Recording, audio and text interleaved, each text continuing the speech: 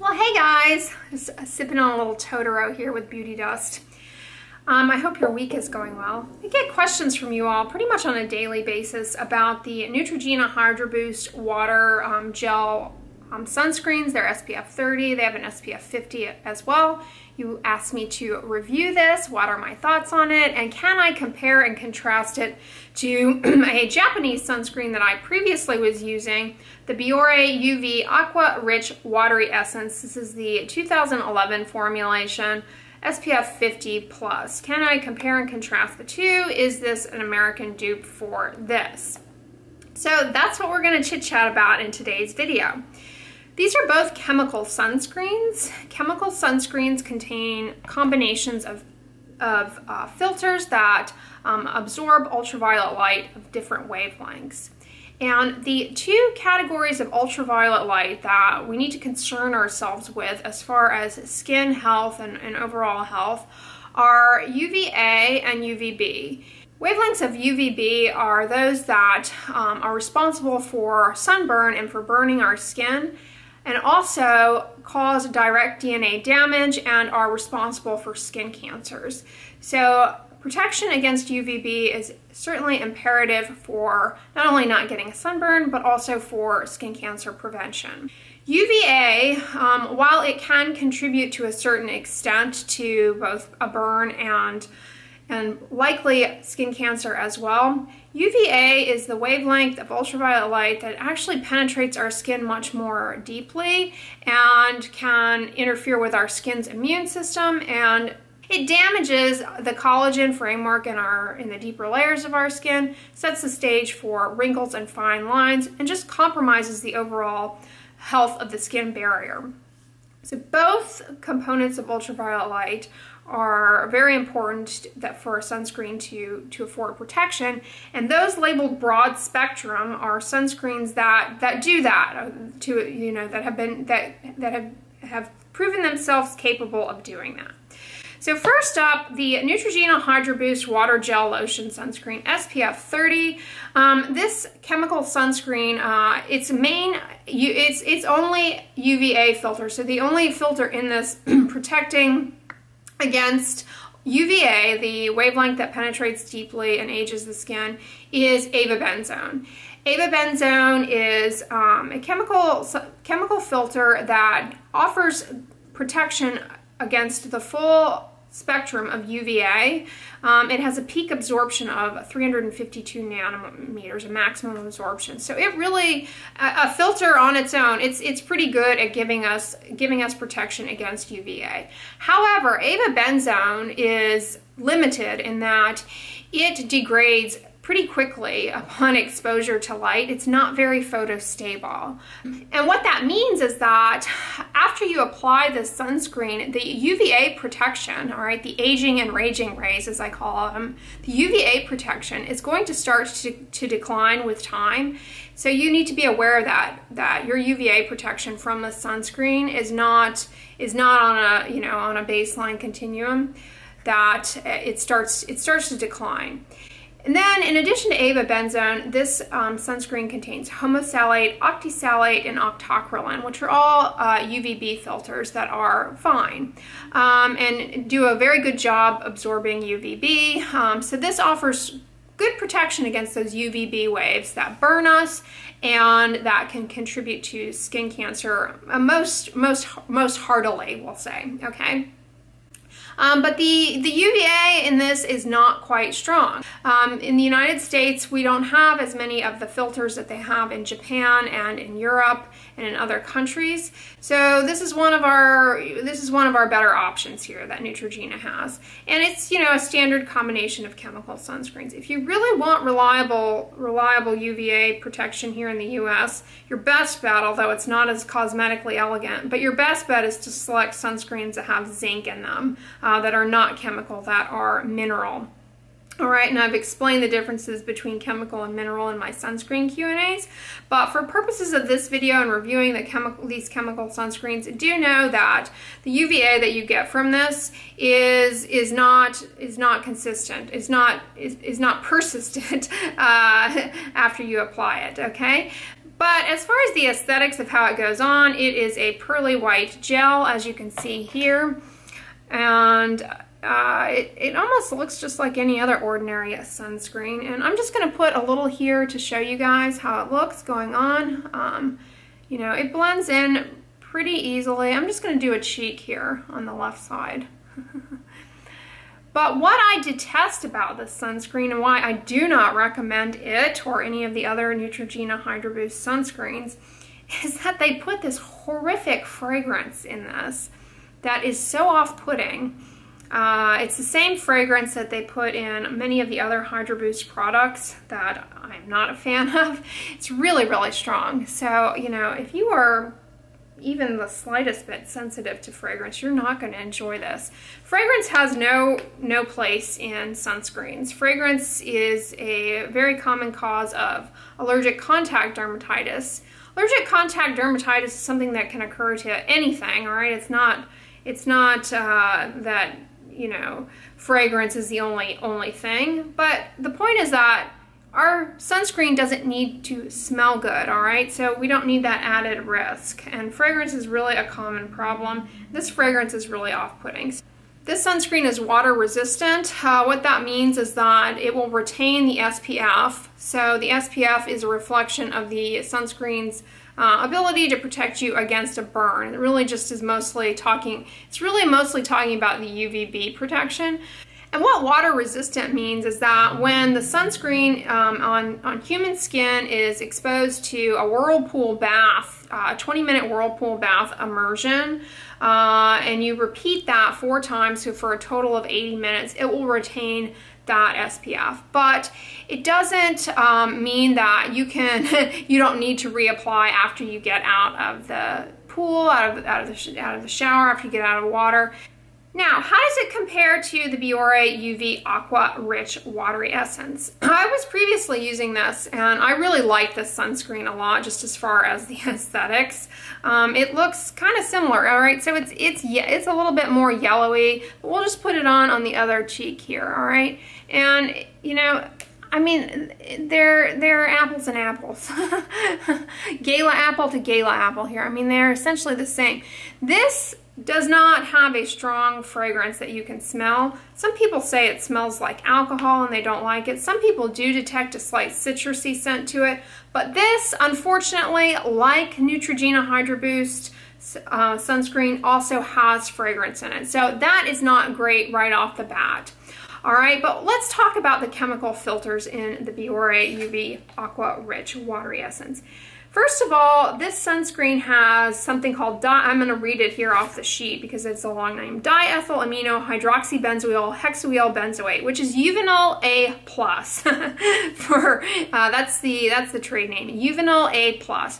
Uvinul A plus is, um, like avobenzone, a great UVA filter. However, unlike avobenzone, Uvinul A, A plus, or a diethyl amino hydroxy benzoyl hexyl benzoate. Say that at a party. You'll make a lot of friends. Um, it is photostable. So you put this on and the UVA protection is um, a little bit more consistent um, after you apply it. It doesn't, it doesn't decline as precipitously as as uh, Hydro Boost. It is, it is more robust in that regard. So Uvinul A plus is much better than avobenzone in that it uh, it doesn't it doesn't it's much more photostable. Unfortunately, Uvinul A plus has not been approved here in the U.S. yet for our sunscreens. So it's not in our sunscreens. It is approved in concentrations up to 10%, I believe, in Europe and Japan and many other countries, Mexico as well, I believe. Um, I'm almost certain Mexico as well. So really, it, you know, the U.S. sunscreens are behind in the chemical filters as far as that. Uvinul A plus is much is a much better UVA filter than avobenzone. So that gives Biore some more power over Neutrogena Hydro, Hydro Boost sunscreen for sure, but both have fragrance. Then the UVB filter in this is octinoxate, which gives good UVB. So this has essentially two, two filters in it, one that's very good for UVA and one that's good for UVB. And this, uh, unfortunately, does have fragrance as well. So this is better than the Neutrogena Hydro Boost sunscreen in my, my opinion for sure. But neither are perfect because they both have, have this fragrance in it that, you know, I think would be better off. A Japanese sunscreen that I prefer over the Biore UV Aqua Rich Watery Essence and that I recommend strongly over that uh, because it does not have fragrance is the Hada Labo UV White Gel. Um, this is a fantastic sunscreen. it is SPF 50 plus PA plus plus plus plus. I was previously using this and um, you know they changed they, they re-released it, I guess, kind of like when Disney relinquishes uh, Disney movie from the vault. They re-relinquished it. And about the time they were doing that, the price on Amazon skyrocketed and you guys flipped out. Then I stopped using it because I ran out of the tube that I was using at the time. Um, and I have since acquired more. They have repackaged it in a jar, um, which isn't fantastic. That doesn't make it easy to, to apply and use. Um, I could be wrong. They may have it in bottles and tubes um, on their website. I'm not entirely sure, but I have it here in the jar. You can get it in the jar from Yes Style, from Amazon, a variety of sources, um, and I really, really like it and strongly recommend it. Here I have a little spatula here, a little scoopy doodle. And this, this one, you know, I'm going to put this on my forehead here. Uh, it comes out you know, very similar to all of them. I mean, they all look identical, right? Like, like liquidy mayonnaise. Like, honestly, they all look the same to me. Um, okay. This one, however, when I put it on, it is a lot more moisturizing. So you can see on my forehead, I have Hada Labo. Here on the left cheek, I have Neutrogena. And on the right cheek, I have And I mean, honestly, they really all appear the same. I would say just as far as aesthetics and putting on, Hada Labo goes on a lot more kind of moisturizing, doesn't I think this is less likely to bother people by virtue of the fact that it doesn't have that, that awful fragrance in it, and I really like it.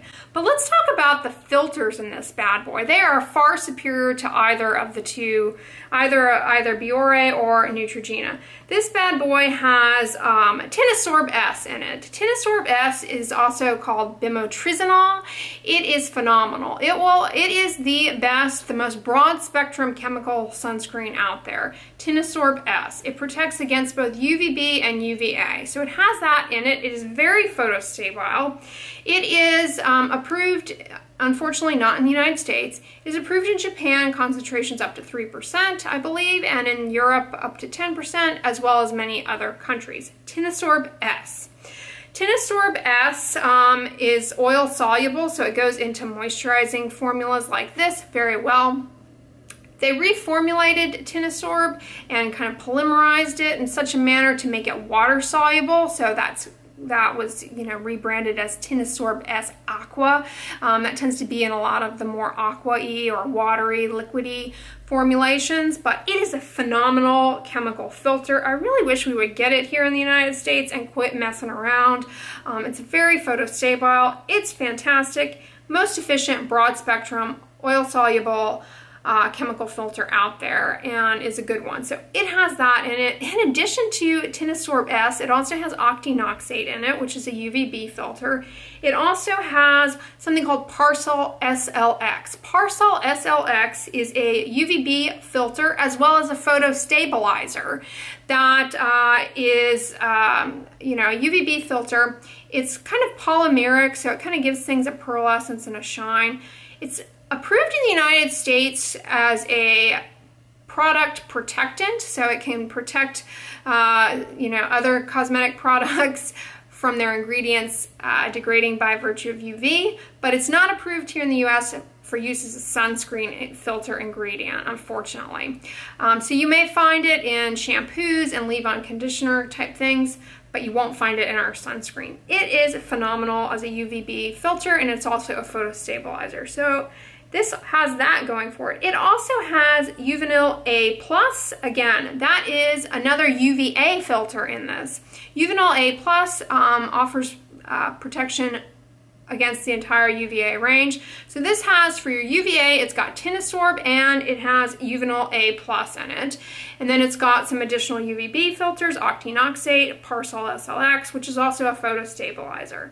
And lastly, it has titanium dioxide, a mineral, a mineral sunscreen, not a chemical sunscreen, a mineral sunscreen that also offers protection against UVB and UVA. So I would say as far as bang for your buck and skin protection, this offers the best. The Hada Labo um, UV White Gel for sure. This is the one that I strongly recommend over either of these personally. A, it doesn't have fragrance, very gentle, very moisturizing superior sunscreen. It's very moisturizing, very gentle. I think it's good for, um, I think people with sensitive skin would be, would be okay giving this a try. A lot of these chemical sunscreens, however, tend to sting people with, with sensitive skin no matter what. So do know that, um, and I can never predict that for sure. But as far as as far as the chemical sunscreens go, I would say this is this is a safe bet to at least give a try. It's very very good, and I strongly recommend it over the other two. Um, so I would not run out and buy the Neutrogena Hydro Boost Water Gel um, sunscreen if I were any of you. A better purchase from Neutrogena, in my opinion, is the Neutrogena Clear Face. Um, SPF 30 or 50, I can't remember exactly which, which SPF it is, but that is a much better choice. It doesn't have fragrance, and it blends into the skin really well. It's fine for people with combination skin, oily skin, dry skin. It's pretty moisturizing. It won't break you out. Um, it's a lot less expensive and does not have this ungodly fragrance to it. So I prefer that over, over this as far as the Neutrogena ones. There are a variety of other good Neutrogena sunscreens, but you really have to be careful with Neutrogena, I've found over the years, because they've started adding fragrance here and there to more products.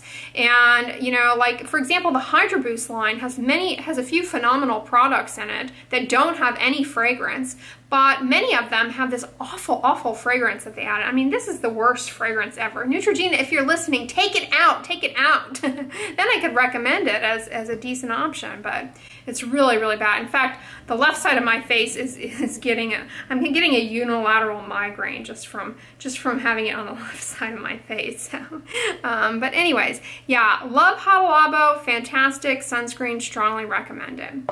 But I hope this video was helpful to you guys and kind of going through the filters, uh, you know, comparing and contrasting the different sunscreens as you all have asked me to do.